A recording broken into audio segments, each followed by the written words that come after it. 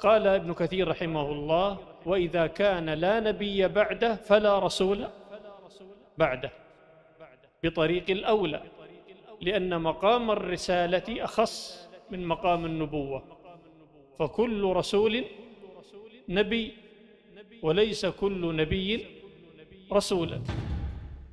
ختم النبوة بنبينا محمد صلى الله عليه وسلم. النبوة بدأت بأبي البشر آدم عليه السلام وختمت ببعثة نبينا محمد صلى الله عليه وسلم.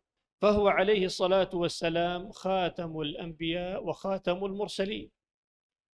وشريعته عليه الصلاة والسلام ناسخة للشرائع السابقة. فهو صلى الله عليه وسلم رسول للعالمين كافة في حين أن الرسل السابقين كانوا يبعثون في أقوامهم خاصة. كل نبي كان يبعث في قومه.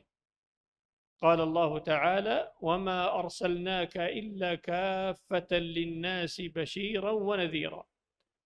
وقال سبحانه تبارك الذي نزل الفرقان على عبده ليكون للعالمين نذيرا. وقال تعالى ما كان محمد أبا أحد من رجالكم ولكن رسول الله وخاتم النبيين.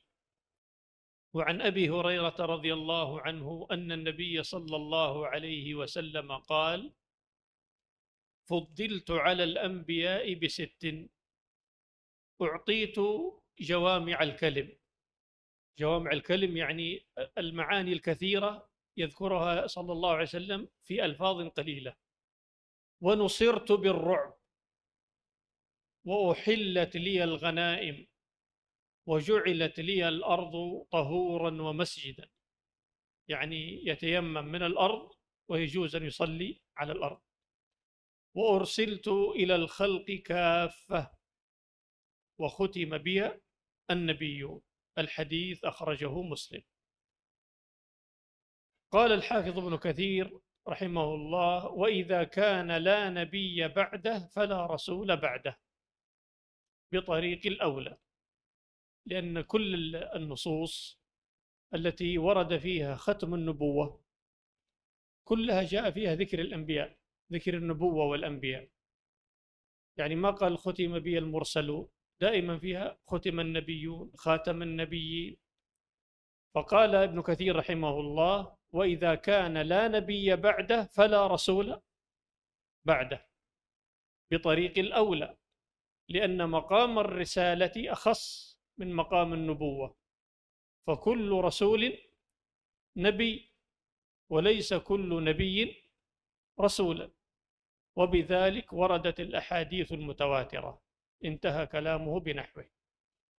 وأما نزول عيسى عليه السلام في آخر الزمان فهذا لا يعارض ختم النبوة بنبينا صلى الله عليه وسلم. لأن عيسى عليه السلام لا يأتي في آخر الزمان بشريعة جديدة يبعث بها وإنما يحكم بشريعتنا شريعة محمد صلى الله عليه وسلم شريعة الإسلام. ويقضي بها فيكون حكما عدلا فينزل حاكما.